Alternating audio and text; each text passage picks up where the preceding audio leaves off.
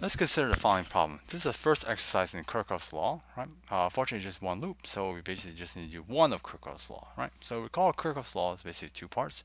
The first part is basically uh, the current is conserved as you go around loop, right? Including all the breaks and stuff.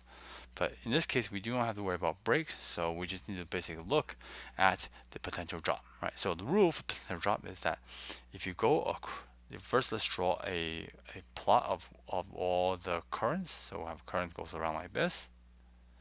And this current be just given the name I. Okay.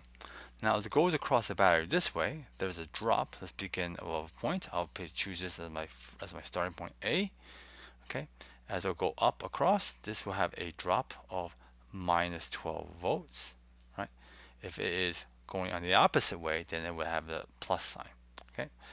Now every time we cross a resistor is again minus IR, where in this case is minus 12 minus 6I. Okay.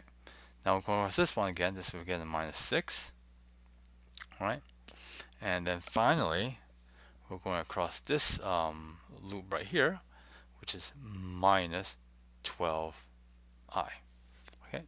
So all together, this is just going to be 12 minus 12 minus 6 is minus 18.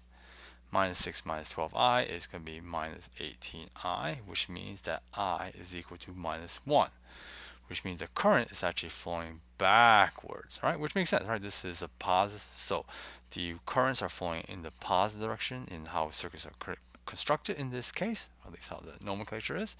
And so basically, because you align these batteries in this direction, it will cause the current flow in this direction. Okay, hope that was helpful.